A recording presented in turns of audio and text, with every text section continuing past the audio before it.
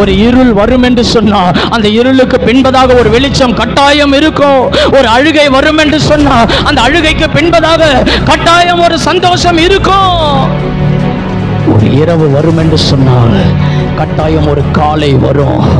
உன் கண்களை கண் கண்ணீரை துடைக்கிற காலை வரும். உன் கண்களில் இருக்கிற கண்ணீர் வடிக்கிற சத்தத்தை கேட்கிற ஒரு சத்தம் வரும். ஒரு துக்கம் வரும் என்று சொன்னால் கட்டாயம் உன் துக்கத்துக்கு பதிலாக ஒரு மகிழ்ச்சி வரும். ஒரு மகிழ்ச்சி வரும். அது நித்திய மகிழ்ச்சியாய் மாறும். அது நித்திய வெளிச்சமாய் மாறும். அது நித்திய மகிமையாய் மாறும். ஃபாதர் உமக்கு நன்றி செலுத்துகிறோம். இயேசுவே உமக்கு நன்றி செலுத்துகிறோம். உண்மை நன்றியோடு நாங்கள் துதிக்கிறப்பா அந்த வெளிச்சம் ஒதுக்க கடவுது. அந்த வெளிச்சத்துக்குள்ள பிள்ளைகள் நடப்பார்களாக. அவங்க கண்களை திறந்து அந்த வெளிச்சத்தை பார்க்க செய்வீராக.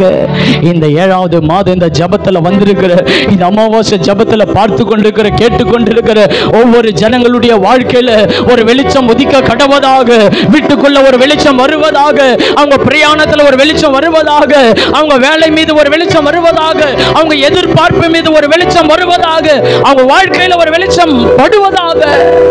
என் தேவன் அப்படி செய்ய போகிறபடியால் நன்றி. உம்முடைய கரத்தில் ஒப்பு கொடுக்கிறோம் ஆண்டவர்.